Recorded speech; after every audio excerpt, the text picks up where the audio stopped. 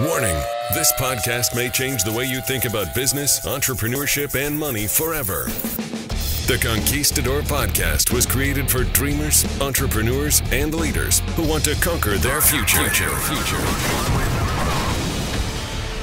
To be an epic entrepreneur, you must adopt the right mental paradigms as well as master the art of selling, marketing, and finance.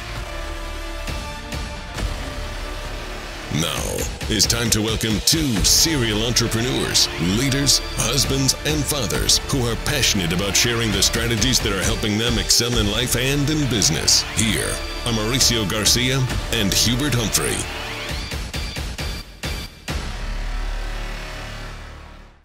All right, so we're live once again, and as always, very excited to be able to do this podcast and talk about the things that are, are going to help every entrepreneur out there excel in business. And today we got a very interesting topic, which is why every entrepreneur need to have a recruiter's mentality. And who better to talk about this than one of the best recruiters in history who's built the two largest financial services uh, companies in the in the in the world. My friend, my mentor, Hubert Humphrey. Hubert, how are you today? Great, great to start another week here with everybody. Look forward not only to today's show, but this whole week we've got a we just got a whole bunch of themes that are that are that are linked together. So I think everybody needs to not only watch this, watch and listen to this one, but listen all week long because they'll get a complete feeling of of how this recruiter's mentality unlocks a, a great future for them. Yeah, and you know, one, one of the things I believe people uh, jump to when they hear recruiter's mentality, they may be uh, making a mistake, but just assuming that it's all about just recruiting people and building a downline. But it's it's bigger than that. I think recruiter comes in bringing in talent for your internal team as well as building distribution. But um, how has this recruiter's mentality changed your life? Because I believe it can change the life of everybody who is tuning in today, who is thinking about building something that's significant in any any endeavor that they're in right now. Well, if, if you've got a recruiter's what I call a recruiter's mentality, I mean you you you you you got a much better chance to win in life because you can't win in life alone. You've got to have other people somehow, some way joining on your team, whether it's your internal team, whether your employees you're hiring. Uh, hiring is nothing but a recruiting process, mm-hmm. uh, and, and, and, and, or if you're persuading partners to join with you financially, whatever you're doing, recruiting is the art of persuading someone to follow you in the same dream and paradigm that you're in and showing them how they'll prosper for doing so. That's just a longer version of what recruiting really is. And so a recruiter's a recruiter's mentality is a great thing to have, especially in a business like like like we're in. And one reason why I've chosen this field that I'm in and this business that I'm in is because because uh, by uh, we can get so many different people to come in and join us and leverage their time, leverage their dreams, leverage their energy, and it makes makes what we what we want to accomplish so much easier because we we're able to bring them in. Mm-hmm. But uh, to me, it all starts with knowing what recruiting is. Recruiting is the lifeblood of, of, of any endeavor. Recruiting, just like your heart's pumping blood. Well, if, if what happens if that blood gets blocked, or if there's a hardening of the arteries, or there's you get anything, heart attack. Anything, anything that stops that blood going, there's going to either be strokes or or heart attack or sluggishness or something. So you got to have that. You got to have that fresh blood going in all the time.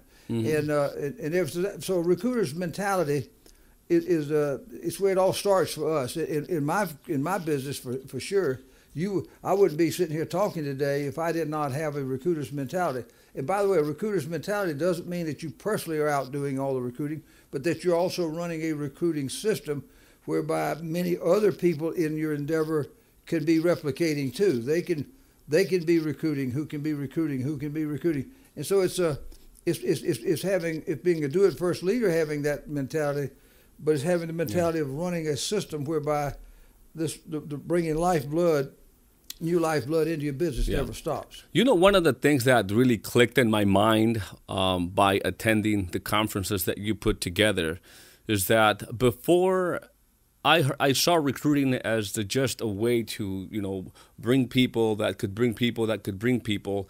There wasn't that much of a substance that, quite frankly, I wasn't really motivated to do it until I heard uh, another one of my mentors, Jody, Jody Humphrey, who said uh, in one of the conferences, "Look, the business that most of these huge companies are in is in the business of distribution." And that's when it clicked for me. And I know everybody may have different experience or different moments and times when they get that epiphany, but to me, I finally understood that when you're doing direct sales, is recruiting is what is going to advance your distribution channel. I mean, it's obviously makes a lot of sense. I'm just sharing my personal experience. It didn't click to me until I understood that if I was to uh, if I wanted to win big in business, wanted to build a big distribution channel, I needed I needed recruiting, and to recruit, I needed the recruiter's mentality. I needed to make that paradigm shift. Right. We're, we're letting people in our business model become be be business people. They're entrepreneurs. They, they, it's like a bunch of people with businesses inside of businesses. Mm-hmm. Now, if you were if you were just looking at a big old company, how does a big old company go and build its distribution? Well, it'll it has a human uh, a human resources department and personnel department, and they go and they've got they run ads and they they do all kinds of things. That they go and get certain people who fit certain profiles, and they go through all these different resumes, and they come in and give them these IQ tests, and and and, and they'll, they'll they'll go out and put these people to be salesmen in their company or or in their, give them territories or skill sets or come in and train them on their products. They're building their distribution, but a company sort of got a team of people doing that. Uh, uh, uh, uh that's building distribution. Uh-huh. Uh, that, that what, what, what we do in our business is that we build our distribution by by offering people uh, from all walks of life a chance to come in and and, and, and get in business, and they too can start to build their own little sub distribution team. Those people could do the same, who could do the same. It's just a magic of compound recruiting and building building distribution teams under everybody. And that's the chosen way that we found works great for us because it opens up every, it everybody in the country is potentially a recruit until proven different. That mm-hmm. we have such a we have such a viral way of building distribution, and that's what recruiting is. I don't care what company it is. When someone's when somebody's looking at a candidate or a person uh, to, to to come in with the purpose of being able to move their products out to the to the consumer, that's that's building distribution. That's what it's all about. I love that uh, paradigm shift because I I looked at my uh, my resume. If I was to present my resume when I first uh, came into the industry, I wouldn't have been hired by or have had an opportunity to be doing what I'm doing today. Maybe, um, and it's so different then because obviously most companies which who are recruiting. I mean, I look at uh, the SpaceXs of the world and the, the Teslas and all these, just because Elon Musk obviously is uh, is a uh, is a popular entrepreneur uh, right now, and he's obviously recruiting, and companies tend to go in that direction in, in most cases. With, like you said, have an internal team, and then they uh, bring all these different talents. And here, here you are talking about a, a, a, a different paradigm, a different way in this industry which has built to the two largest financial services industry in the world, which is not an easy industry by chance. It's the most regulated industry, right? And and and still managed to recruit over 2.5 million people, and uh, beat the top two or three in their own game. Right. Well, you know, just just remember that that, that, that no no product, no, no matter what product is invented or created if there's not some type of a delivery system to the consumer, if you can't get it to the marketplace, uh, that product doesn't benefit anybody. It doesn't benefit the people who put their money in it to get the company started. It doesn't benefit the end use, the consumer who needed the product. It's got to be a delivery system. And that's really what recruiting basically at its uh, at mm-hmm. its uh, baseline uh, meaning means to do that. And uh, I, I look back. I look back many years ago when, when, when we were building the, the original A.L. Williams company, which li- ended up literally changing the whole life insurance industry, the largest industry in the world. It just changed the, the way they, they, they approached their selling to the middle America. They, it, it changed the way uh, Middle America bought insurance. It was just a revolutionary, disruptive force out there. And I remember one, one time, uh, New York Life had a big article uh, that they were put, publishing in the Wall Street Journal or something about how they how they came about building their professional sales force, and it went through this whole uh, litany of things that they did, and they put them through all these. They'd go through they'd go through a, th- a thousand people to get uh, ten or fifteen or twenty good ones, and they'd mm-hmm. go through these resumes, and then they would they would do whatever they would do, and they would end up this elite sales force they called it, and uh, mm-hmm. uh, of course in A.L. Williams, we were out there bringing in bringing in people from all walks of life, giving them a chance to be in business, and, and so Art Williams had one of his is his assistants write a letter to them and say, listen, we don't want your 10 or 15 that you keep. We don't need them. Bring us your, give us your other 990 people that you you rejected. That's the ones we wanted to put wow. in our system. Wow. And, and so we were building distribution by offering it to everybody. mm-hmm. We were, uh, in our in our way of attracting people into this industry was to selling them the dream of being an entrepreneur and, and coming in and building building their business, which ended up being distributing these products. So we ended up sure. with a different way of coming about building distribution, but we built it bigger, faster, and we beat all those companies. And uh, distribute, having a recruiter's mentality is just a good thing to have. If you're if, if you're if you're in church doing missionary work, trying to build up your church, you're going to need to have to learn how to persuade people to to, to why they need to come to your church. They need to. Mm-hmm. They need you. Why, if you're trying to do missionary work to convert people to a, to a gospel doctrine, you've got to go and be able to be able to do that. If you mm. if you're trying to find a mate to marry, you've got to be a good have a good recruiter's mentality. I mean, it, it it's just a powerful thing to have, as a is a is a mentality of how to go and convert people to your way of thinking. That's really what you're trying to do. Yeah, I love the message today. One of the things that I think goes uh, hand in glove with what you're saying is that there is no machine, there is no technology still invented that can measure the heart of a champion.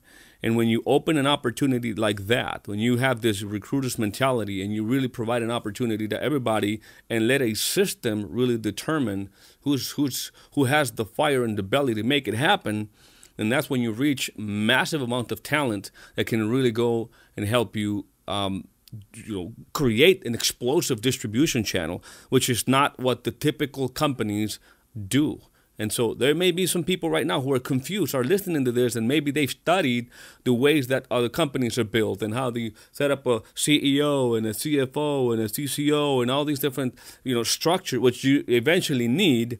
But you know, and you obviously have to recruit that type of, of talent but there is probably a lot of other people out there that may not have that uh, you know certain experience in the and the and the and the resume, but they have a fire in the belly that uh, that that nobody knows about until they're given the opportunity.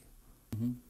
That's right. Well, our our uh, our system allows people from all walks of life to come in and uh, our philosophy is, is, to recruit them all and let the system sort them out. That's I like that's that. Why, that. That's why we is so the, the whole framework or uh, infrastructure of our business is built on having a successful system that one finds these people, uh, pers- makes the presentation to them uh, personally or in a group form. We call it business opportunity presentation, and it could be by Zoom, it could be in person, whatever it is but that system reaches out to those people through through the relationships of other people. We just it's a whole connection of friendship borrowing points where if I recruit you, you've got people you know, and if we recruit them, they've got people they know, and it's just a concurrent linking up. So we've got a very fast moving viral machine with this system that, that does all that and it brings them through there and then the people that rise up who become the leaders,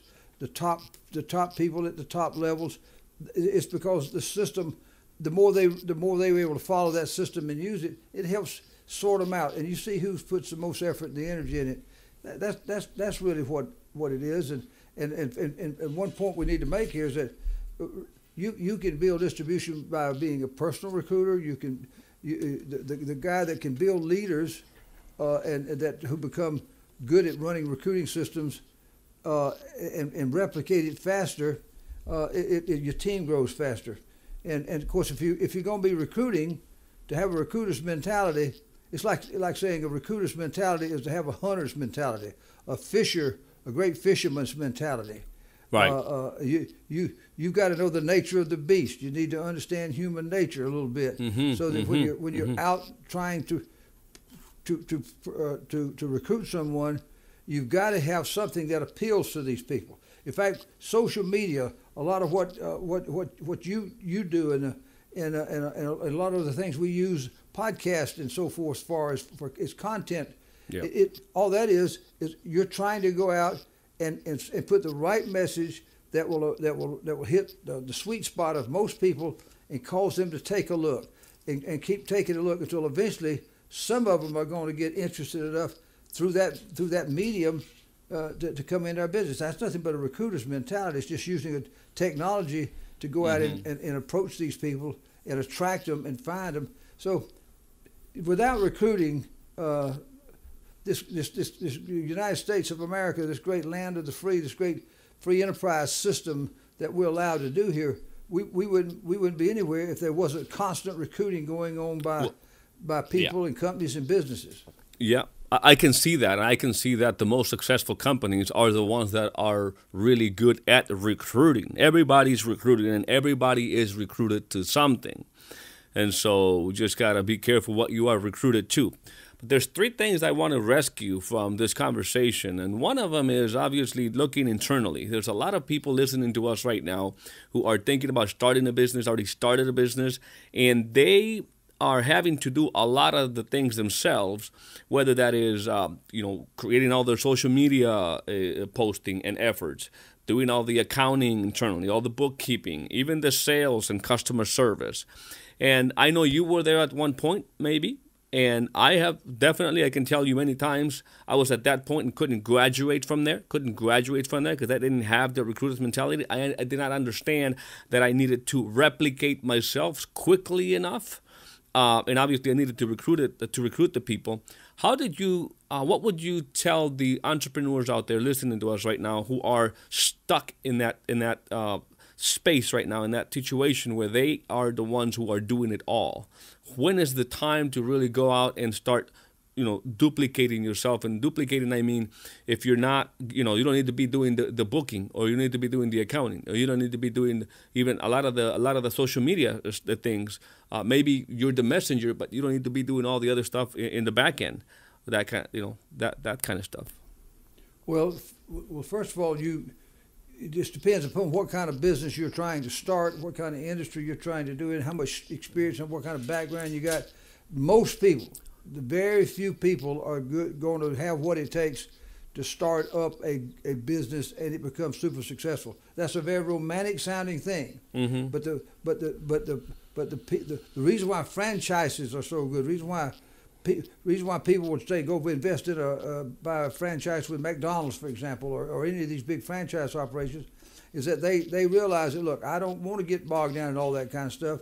I want something that's turnkey, something that's formatted, something that's got a system. I just want to go and put my money in it. Somebody else is going to run all that system. All I got to do is plug and play. I got to take what they're doing, just put it out there, and, and, and, and take their system and follow it and do everything.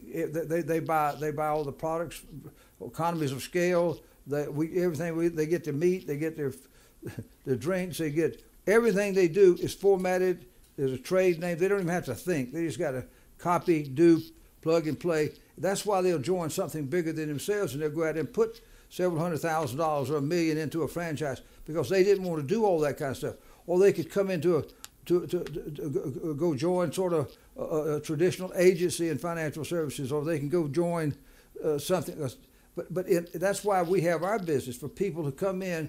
They they, they don't have to buy a franchise, but they get to come into our business, and we we have it's built by entrepreneurs for future entrepreneurs, and we got everything in there, plug and play that they need, and they don't have to do all that stuff. They just got to go focus on the main thing, which is prospecting, contacting, recruiting people, and then replicating that over and over and over again, and uh, and, uh, and and motivating them, I should say. But it, it's you need to simplify to multiply, and it, the, the the people now that are going to try to start up their own businesses and everything, they have got to learn how to delegate or, or stagnate. They're going to have to find some way to get some people that could come in and take care of these things. They that, that can take care of their their, their finances, can t- take care of their books, that can that can go and do some of these things. But it takes money to go and hire those people to do all that. So, but but you but if you if you work in if you spend all your time down in your business and, and doesn't leave you any time to work on your business, uh, then you don't know where you're going. Well, saying a blind, the blind lead the blind. They both Yeah. fall in the ditch because both of them are both of them are blinded by they're blinded by why because they're both down into the, into their business and they can't get have vision and see where they're going. Yeah, one of the things that works for me is probably that, or the reason I would say that things have been good for me is because I first uh, decided to learn the skill to be a good salesperson and understood I was in marketing business. The minute I understood that I wasn't in the insurance industry, but I was more into marketing industry, that's when things really changed for me. Internally, when you're still in the entrepreneurial stage, when you still haven't really built a you know a solid business per se, then uh, one of the things that worked for me is nowadays there's so many different uh, places where you can go and hire people by you know little projects and I, I put a lot of people to the test like people that would help me in the technology space people that would help me with the finances people that are going to help me with the social media. And i would give them a lot of different little you know little tests. And those that really performed much better i would give them more and more little tests until they actually became part of the of the team. And I think a lot of entrepreneurs they don't necessarily need to go out there and hire uh, in a traditional way, uh, but maybe you know give some of these people out their little project because it doesn't put that big of a commitment financially on you, but it does help you. First of all, find talent, and second, learn uh, at least begin to delegate and let other people do the things that are bogging you down. At least that's what uh, has worked for me really well, up to to a point that uh, I found four, five, six people now that are doing things from the technology to the accounting to the paperwork, secretarial, yada yada yada, all those different things that are out there. And then on the other side is being able to to in our business and financial services industry, building distribution, is selling the dream, selling people on the idea that they too can build an agency uh, that can reach nationwide or even continental wide because um, we're, we're building Mexico, U.S., and Canada with something like this. That's what's pretty much been my my um, in a nutshell what I've done to be able to not get bogged down, like you said, into having to do everything. But it always had to do with recruiting and having that Well, recruiter's mentality.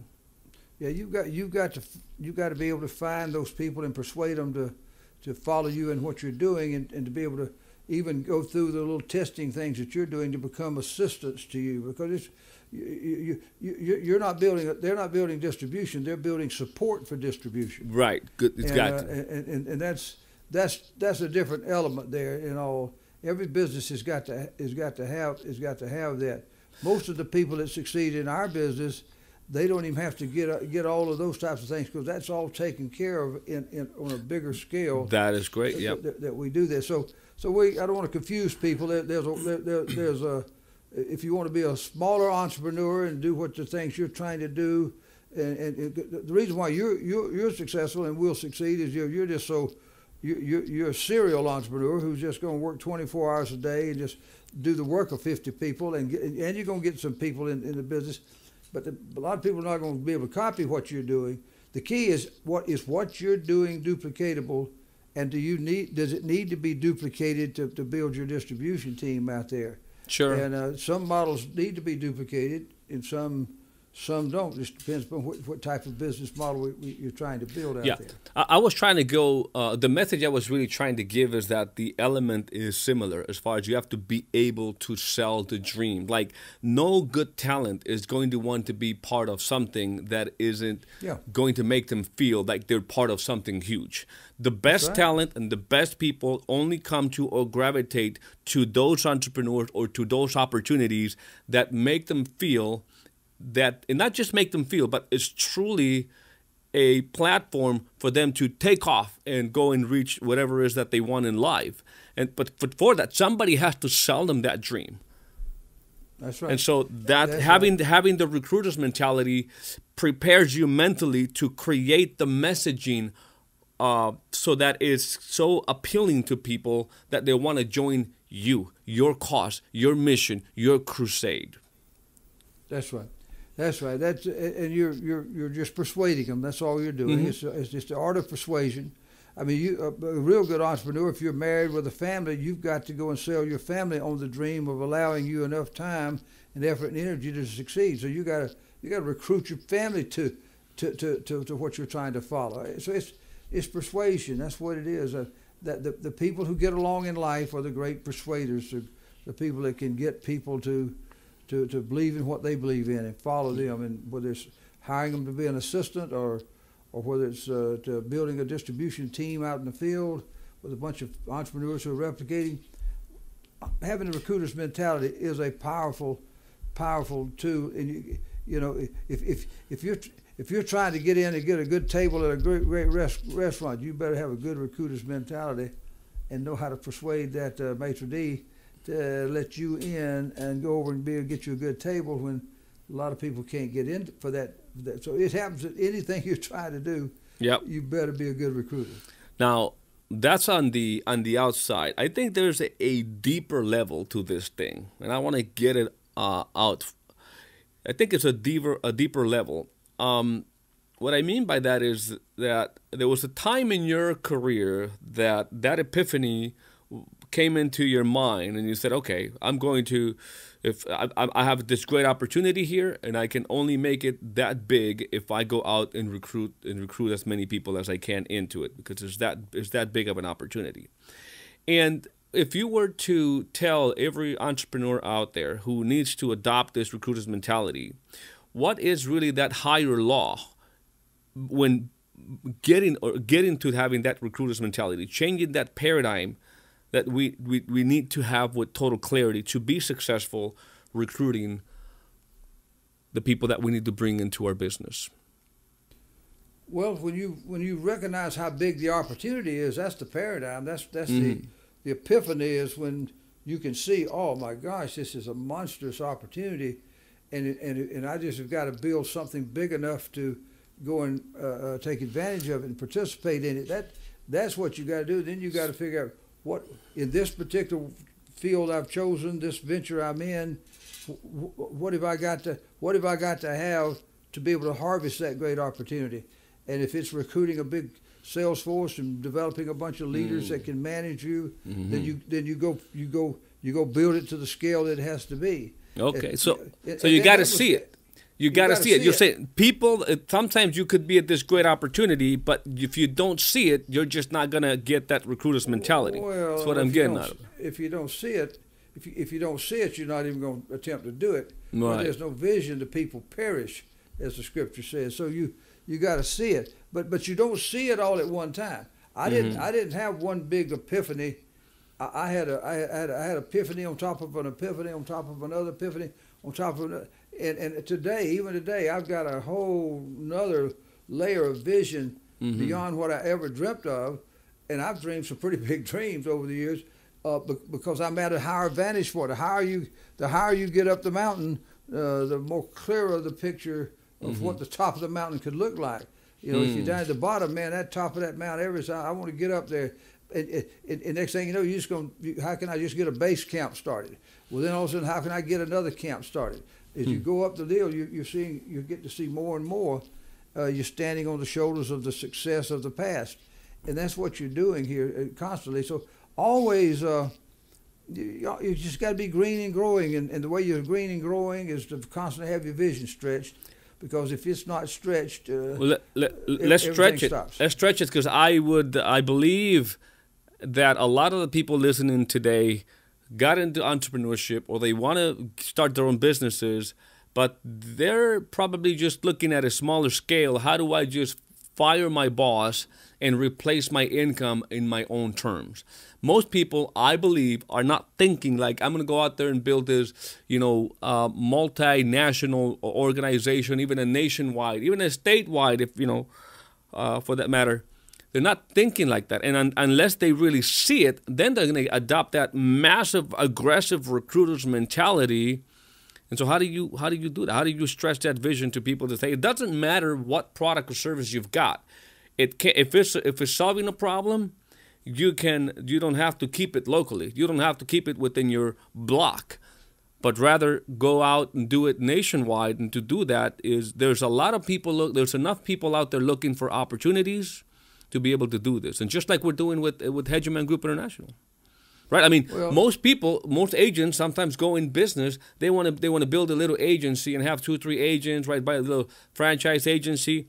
But here's this other paradigm which say no, you can actually being on the right platform, you could go and do build this multinational and so, well, what, what, what really in my in my case, uh, I always knew, even when I was out working on the railroad and never had been in anything like this, I knew that the insurance industry was the largest industry in the world. I knew it was big.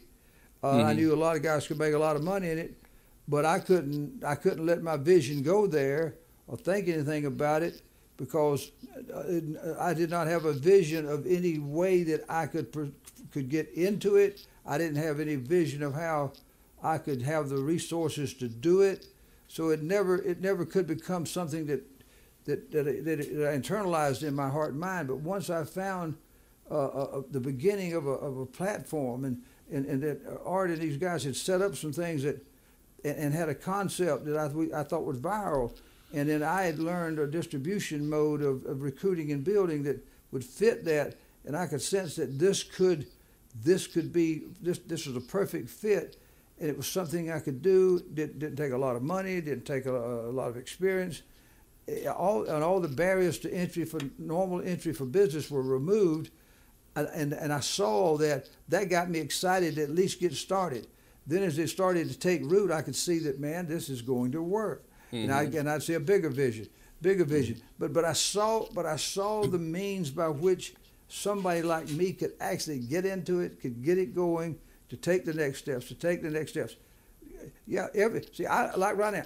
I, I know that if somebody could go out and cure cancer, man, it he'd be the richest man in the history of the world. Well, right. I can't get too excited about trying to go do that right now because I don't know of any means by which I could go and start to pursue that. Even though it's a monstrous opportunity, uh, I could mm-hmm. go out there and create a, a, a, a rocket ship to go to the moon since uh, NASA wasn't building any. Well, well, well, that's what Musk did. He goes and right. does SpaceX. Well, but you, you're just not going. Uh, he he found, he, but he only did that because he had become wealthy.